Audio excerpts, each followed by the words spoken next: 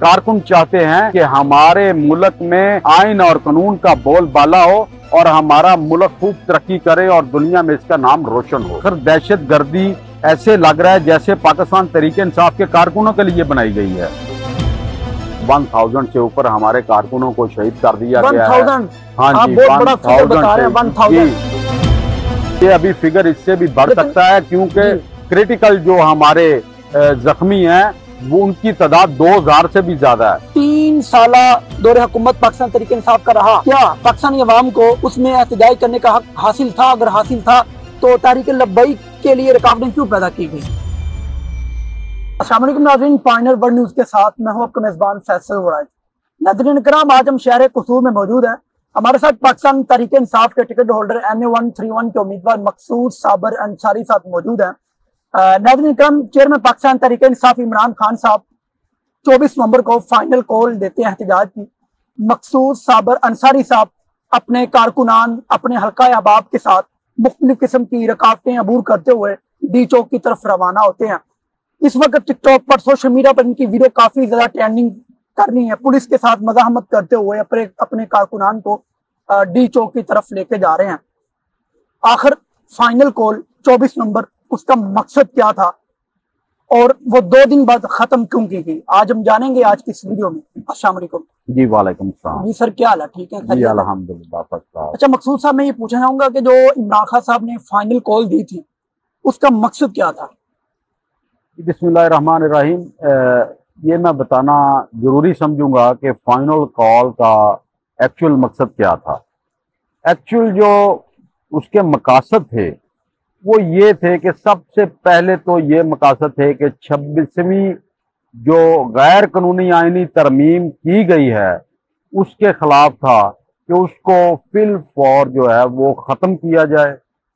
اور اس کے علاوہ اس ملک میں بڑھتی ہوئی مہنگائی، ہمارے جو کارکنان بے گناہ قید کاٹ رہے ہیں، نو مئی دو ہزار تیئیس کے بعد سے ان کی رہائی اور بالخصوص جو ہمارے قائد عمران خان کی رہائی کے لیے یہ فائنل کال دی گئی تھی۔ اور اس میں جو اہم بات تھی وہ یہ تھی کہ اس ملک میں انصاف اور قانون کا بول بالا ہونا چاہیے۔ چوبیس نومبر کی جو فائنل کال تھی وہ ہمارے قائد عمران خان نے دی تھی کہ آپ نے چوبیس نومبر کو نکلنا ہے۔ اس مقاصد کے لیے مقاصد میں نے آپ کو بیان کر دیے ہیں۔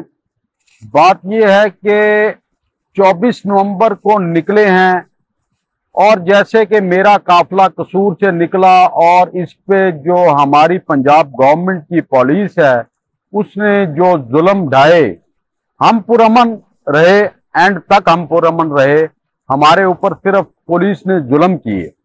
اور ہم رکاوٹیں عبور کرتے ہوئے الحمدللہ جب ہم مصطفیٰ آباد ٹول پلازے پہ پہنچے تو ادھر بہت زیادہ شیلنگ اور ہمارے کارکنوں کی بہت زیادہ کارکنوں کی گرفتاریاں ہوئیں۔ ادھر سے پھر کچھ کارکن واپس نکل گئے کچھ کارکن آگے کو بڑھ گئے۔ اچھا میں اس۔ سوال کی طرف ہی آ رہا ہوں معذرت۔ اچھا اس وقت میں سوشل میڈیا پر ٹرینڈ بنا ہوا ہے کہ پنجاب دھوکہ دے گیا۔ ٹھیک ہے اس میں میں بات کرنا چاہوں گا کہ آپ شہر قصور سے اپنے حلقے سے کتنی عوام کے ساتھ آپ نکلے؟ دیکھیں جی کبھی بھی پنجاب کے جو پی ٹی آئی کے ورکر ہیں، نہ کبھی انہوں نے دھوکہ دھوکہ دیا ہے اور نہ کبھی وہ دینے کے بارے میں سوچ سکتے ہیں۔ آج ہمارے کارکن جس نظریے پہ کھڑے ہیں، وہ پاکستان کی حقیقی آزادی کے لیے کھڑے ہیں۔ اپنے قائد عمران خان کے نظریے کے مطابق وہ چل رہے ہیں اور چلتے رہیں گے۔ وہ ہر حال میں اپنی کال پہ، چاہے اسلام آباد ہو سنگجانی ہو یا کے پی کے میں بھی اگر کوئی پروگرام ہو یا پاکستان کے کسی بھی علاقے میں پروگرام ہو، ہمارے پاکستان کے جو پاکستان تحریک انصاف کے کارکن ہیں، وہ ہر جگہ پہ پہنچتے ہیں۔ بالخصوص جو پنجاب والے ہیں، وہ ضرور پہنچتے ہیں۔ بس یہ فرق ہے کہ کے پی کے والے ایک قافلے کی شکل میں آتے ہیں اور یہ ڈیوائیڈ ہو کے جاتے ہیں۔ ہمارے لیے، پنجاب والوں کے لیے بہت زیادہ مشکلات ہیں۔ اور وہ مشکلات کو سے نپٹنے کے لیے ہم اپنے جو ساتھی ہیں ان کو فاصلے پہ رکھتے ہوئے علیحدہ علیحدہ میں ان کو ادھر بھیجتے ہیں اور وہ ادھر پہنچتے ہیں۔ جیسے سنگجانی جلسہ ہوا اسلام آباد میں ادھر تو سیونٹی پرسینٹ پنجابیوں کی اسٹرینتھ تھی۔ پنجاب سے۔ پنجاب سے۔ جی۔ اور تھرٹی پرسینٹ ادھر جو تھا وہ کے پی کے کے لوگ تھے۔ اور کبھی بھی پنجابی نے دھوکہ نہیں دیا۔ پنجابی مر مٹنے کو تیار ہیں۔ اور وہ پنجابی مر مٹنے کو تیار ہیں جو ہمارے قائد عمران خان کے نظریے کے ساتھ چل رہے ہیں۔ اچھا مقصود صاحب شہر قصور میں ضلع قصور کی بات کرتا ہوں اوورال میں یہ پوچھنا چاہوں گا کہ ضلع قصور کے اندر فائنل کال کے لیے پاکستان طریق انصاف کے آپ کی رپورٹ کے مطابق کتنے کارکنان ڈی چوک پہنچنے میں کامیاب ہوئے؟ جی ہمارے دو ٹیمیں قصور سے نکلی ہیں۔ ایک چونیا اور پتو سائڈ سے نکلی ہے ایک قصور سے نکلی ہے بلکہ تین ٹیمیں نکلی ہیں۔ ایک ہماری کوٹ رادہ کشن سے نکلی ہے۔ اور یہ تینوں ٹیموں کی جو اسٹرینتھ تھی، یہ دس ہزار سے زیادہ تھی۔ ٹھیک ہے، لیکن پہنچنے میں کامیاب جتنے ہوئے ہیں، وہ کم لوگ ہوئے ہیں، کیونکہ کچھ ہمارے لوگ گرفتار بھی ہو گئے، کچھ واپسی بھی کی، کچھ لوگوں کی ہو گئی۔ کسی کی جو سواریاں تھیں، جو گاڑیاں، موٹر سائیکلیں، وہ پولیس نے قبضے میں لے لی اور اس وجہ سے وہ بیچارے نہیں پہنچ سکے۔ لیکن، جب وہ گھر سے نکل پڑے ہیں ایک جہاد کے لیے، ایک کال پہ تو سمجھ لیں کہ وہ پہنچ گئے ہیں۔ ہمارے کافلے بھی، قافلے بھی جو تھے، وہ راستے سے جب چھبیس کو رات انہوں نے شب خون مارا اور ہمارے کارکن جو کہ ایک فگر کے مطابق ون تھاؤزینڈ سے اوپر ہمارے کارکن شہید کیے گئے اور جب یہ پتا چلا تو ہمارے قافلے جدھر جدھر تھے، ادھر ادھر ہی وہ رک گئے۔ ٹھیک ہے۔ اچھا مقصود صاحب، میں یہ پوچھنا چاہوں گا کہ آپ کی ایک ویڈیو سوشل میڈیا پر وائرل ہوتی ہے آپ اپنے کارکنان کو ڈی چوک کی طرف لے کے جا رہے ہیں اور پولیس کے ساتھ مزاحمت کر رہے ہیں۔ پولیس کے ساتھ مزاحمت کر کے آپ لے کے جا رہے ہیں۔ آ, پولیس کے ساتھ آپ کی کیا ڈیل ہوئی اس وقت؟ یا کارکنان گرفتار ہوئے یا پہنچنے میں کامیاب ہوئے؟ نہیں ہمارے کافی کارکن گرفتار ہوئے اور ہمارے تقریباً ڈسٹرکٹ قصور میں سے تقریباً سات سو بندے کے خلاف ایف آئی آر درج ہوئی۔ سات سو بندے کارکنان ہاں، اور اس میں ہمارے تقریباً ستائیس کے قریب جو کارکن ہیں وہ ابھی تک گرفتار ہیں اور وہ چھ روزہ ریمانڈ پہ ہیں اور کل دو دسمبر کو ان کی پیشی ہے دہشت گردی کورٹ میں اور مجھے آج تک یہ سمجھ نہیں آئی کہ یہ آخر دہشت گردی ایسے لگ رہا ہے جیسے پاکستان طریقے انصاف کے کارکنوں کے لیے بنائی گئی ہے کہ خدارہ ہوش کے ناخن لیں، اس ملک کو دو حصوں میں تقسیم کرنے کی کوشش نہ کریں، اس ملک میں سب پر امن ہے اور اگر پاکستان طریقے انصاف کے کارکن ایک حقیقی آزادی کی جدوجہد میں حصہ لے رہے ہیں، تو وہ صرف اور صرف اس اس پاکستان میں قانون اور آئین کی بالادستی کے لیے نکل رہے ہیں۔ اچھا مقصود صاحب جس طریقے سے آپ نے بیان کیا کہ حکومت پاکستان پاکستان طریقے انصاف کے کارکنوں کو دہشت گرد ڈکلیئر کرتی ہے، آخر کیوں؟ لیکن اس میں ایک سوال ہماری پبلک کا سوال ہے سوشل میڈیا پر ٹرینڈ بھی ہے کہ تین سالہ دور حکومت پاکستان طریقہ انصاف کا رہا۔ کیا پاکستانی عوام کو اس میں احتجاج کرنے کا حق حاصل تھا؟ اگر حاصل تھا تو تحریک لبئی کے لیے رکاوٹیں کیوں پیدا کی گئی کسی کے لیے بھی کوئی رکاوٹ پیدا نہیں کی گئی تھی۔ پاکستان تحریک لبیک جو ہے انہوں نے بھی اپنے احتجاج جو ہے وہ ریکارڈ کروائے اور اس وقت جب انہوں نے اپنا احتجاج ریکارڈ کروایا اس وقت کرونا کی لہر بہت زیادہ تھی پاکستان میں۔ جی۔ لیکن پھر بھی ہماری گورنمنٹ نے اجازت دی اس وقت ہماری گورنمنٹ نے ان کو یہ کہا تھا کہ آپ کرونا کے دن نکال لیں اور اس کے بعد احتجاج کر لیں ہماری طرف سے کوئی رکاوٹ نہیں ہے۔ جی۔ پاکستان پیپلز پارٹی نے مسلم لیگ نون نے اس وقت احتجاج کیا لیکن ان کے لیے فری ہینڈ تھا۔ ان کو سہولتیں فراہم کی گئی پانی اور خوراک بھی یہاں تک کہ ہمارے کارکنوں نے ان کو فراہم کی گئی کہ اگر آپ ہو سکتا ہے کہ آپ لوگ سچے ہوں آپ حق کے لیے لڑ رہے ہیں اگر آپ حق پہ ہیں لیکن یہ بات اس کا فیصلہ تو بعد میں ہونا تھا نا لیکن کوئی رکاوٹ کھڑی نہیں کی گئی۔ کراچی سے لے کے اسلام آباد تک پیپلز پارٹی والے پہنچے ہیں بلاول بھٹو کی قیادت میں۔ جی۔ اور ان کے لیے کوئی رکاوٹ پورے پاکستان میں نہیں تھی۔ اچھا مقصود صاحب میں یہ پوچھنا چاہوں گا کہ چوبیس نومبر جو کہ ایک فائنل کال تھی آخر دو دن بعد وہ ملک بھی تھی؟ دیکھیں اتنا بڑا چانیا ہو گیا ہے کہ ون تھاؤزینڈ سے اوپر ہمارے کارکنوں کو شہید کر دیا گیا ہے۔ ہاں جی ون تھاؤزینڈ جی یہ ابھی فگر اس سے بھی بڑھ سکتا ہے کیونکہ جی۔ کریٹیکل جو ہمارے زخمی ہیں وہ ان کی تعداد دو ہزار سے بھی زیادہ ہے۔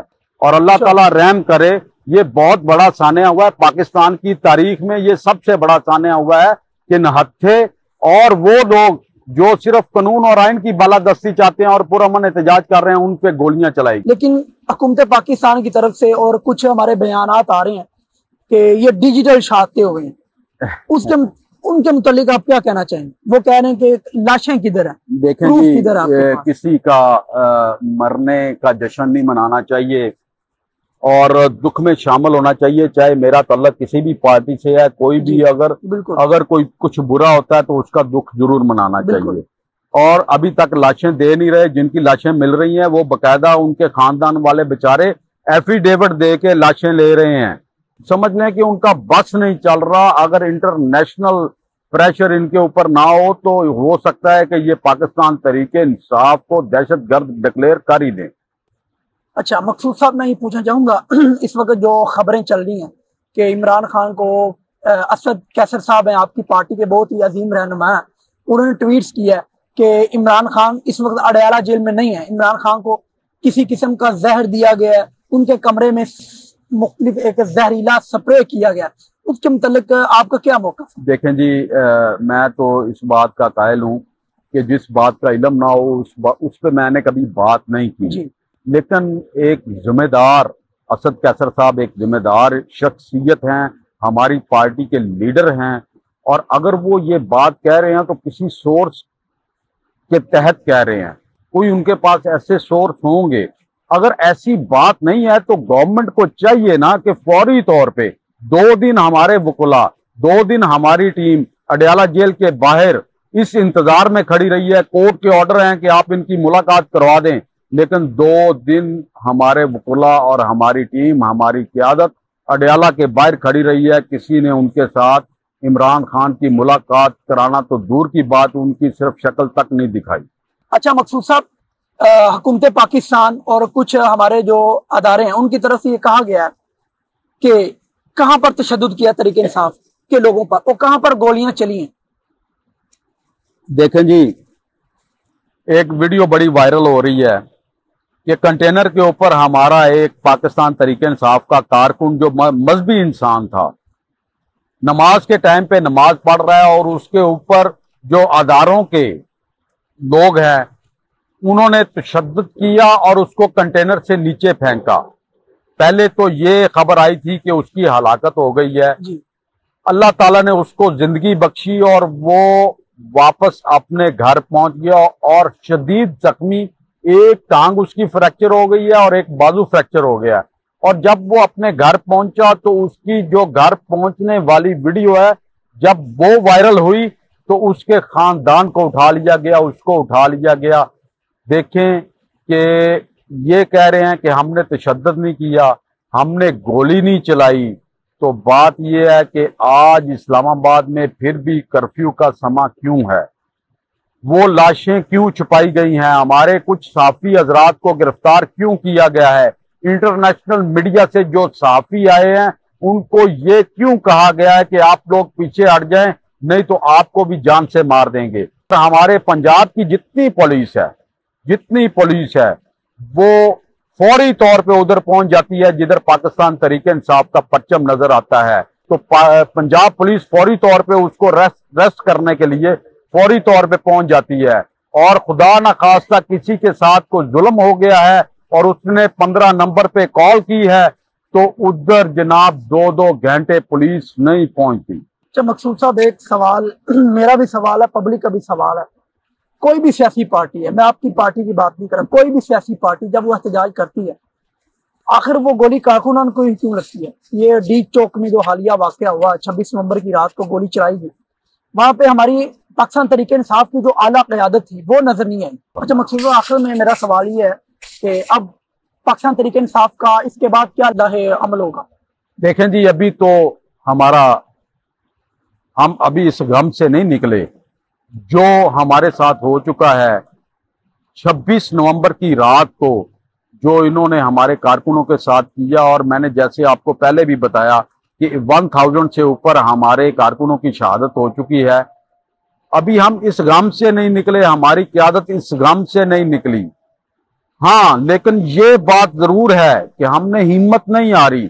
انشاءاللہ ہم، ہماری پارٹی، ہماری قیادت، ہمارے قائد عمران خان انشاءاللہ جلد کال دیں گے اور انشاءاللہ اس سے زیادہ بھرپور جذبے سے اور طاقت سے ہم انشاءاللہ نکلیں گے اور انشاءاللہ مقابلہ کریں گے کیونکہ یہ ہماری حقیقی آزادی کی جدوجہد ہے اس کی لڑائی ہے ہم اس کو جاری رکھیں گے۔ آپ عمران خان کے ساتھ کھڑے ہیں۔ ہم عمران خان کے ساتھ کھڑے ہیں۔ اگر آپ کو اٹھایا گیا۔ یہ تو عام سی بات ہو گئی ہے۔ یہ تو ایک عام سی بات ہو گئی ہے کہ اس کو اٹھا لو، اس کو منا لو، اس کو مار لو، اس کو اس پہ تشدد کر دو، اس کے بچے اٹھا لو، اس کی ماں اٹھا لو، اس کی بیوی، اس کی بہن، اس کا بھائی۔ یہ تو ایک عام سی بات ہو گئی ہے۔ اور یہی بات تو میں بھائی آپ سے کر رہا ہوں کہ ہم یہ جدوجہد کس کس لیے کر رہے ہیں۔ ہر شہری کا حق ہے، چاہے اس کا کسی بھی پارٹی کے ساتھ تعلق ہے۔ احتجاج کرنا ایک عینی حق ہے۔ آج ہم اپنے قائد عمران خان کے نظریے کے ساتھ چل رہے ہیں۔ اس کے ساتھ کھڑے تھے اور کھڑے ہیں اور انشاءاللہ کھڑے رہیں گے۔ جی بہت شکریہ سر۔ جی ناظرین، ہمارے پروگرام کے مہمان خصوصی تھے۔ N A one three one کے ٹکٹ ہولڈر پاکستان طریقہ انصاف کی جانب سے مقصود صابر انصاری صاحب۔ تو ملتے ہیں اگلے پروگرام میں، دیکھتے رہیے پائنر ورلڈ نیوز اللہ نے کے بعد